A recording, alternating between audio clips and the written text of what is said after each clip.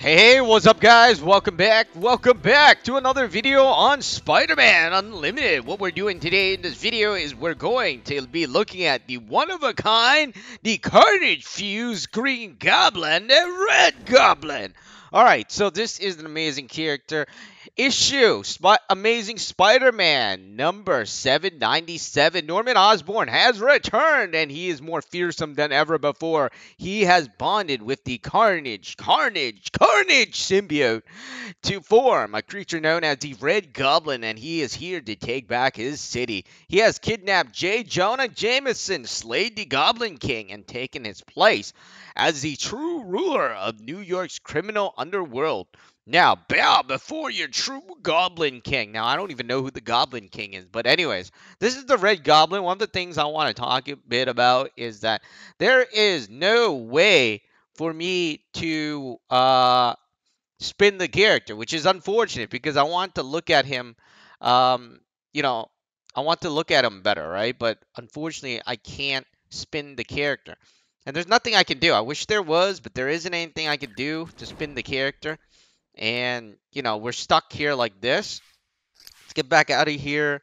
And let's go back a bit.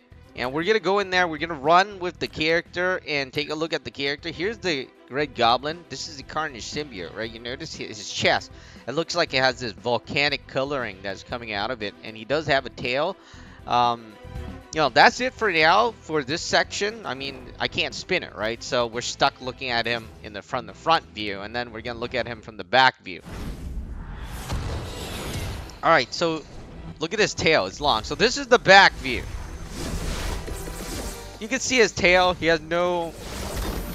Well, I guess they tried to make like a sort of symbol on his back, the upper back. It looks like, you know, pretty much, uh... What do you call it? I guess you can't say it looks like a spider, but they tried to put some legs or some, you know, dash or some lines down on on his back. But anyways, so, you know, here's the Red Goblin, the Green Goblin fuse with the Carnage symbiote, or Norman Osborn fused with the Green, I mean, with the Carnage symbiote. Alright, so really cool stuff. I always wanted this character when they first released it, right? I always loved new symbiote stuff. And really, really cool series. Really epic series, in fact. And let's go for it and see what happens. Look at him. The thing is, you notice that he's using spider webs, and that's the thing with this game. It they don't change the webbing, and it it's not it's like oh there's Carnage.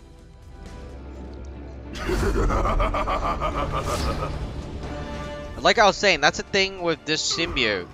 He is not that great in terms of, uh, well, not the symbiote itself, but like how they designed it because, you know, he's still using webbing. It's the same thing as Spider-Man. And I don't think that the Carnage symbiote is going to be using spider webbing. Like, seriously. That's my opinion, though. I mean, of course, obviously, I don't know. I mean, he might be using it. Who knows? But, you know, they don't change the webbing. Uh, there's no special moves or anything, but that's fine. I guess it is what it is, but I still like the Red Goblin. Look at him. BAM! He looks cool. But anyways, I wish, personally, I wish that they are able to add more changes, more identity. Yeah, that's what I'm, I'm going to call it. More of an identity to each of the new characters that are released. Either they have some sort of new special power, like, you know, jumping, running, flying power or something, like, at certain points, like power-ups or something. But, you know, it's basically, most of the new characters, it's just cosmetic, right? It just looks different. And it's not that its webbing and attacks look different either. It's more like, it's just its running figure looks different. That's my opinion. But anyways, if you haven't joined us on the GameTube channel, be sure to join that channel as well because that's where we're going to be posting most of the new videos on the new updates, on the new characters that I can't get. I'm only going to post characters I can get. Like, you know, I can get, right? That I have access to on this channel. I'm not going to post it or post, uh, you know, characters I don't have access to, and I'm just gonna be talking about it on this channel because it seems like I, if I can't run with it, what's the point of me making a video on it, right? I mean, I could be making a video on uh, Spider-Man, like, you know, another Spider-Man game, which I do have access to the skin. Alright, so anyways.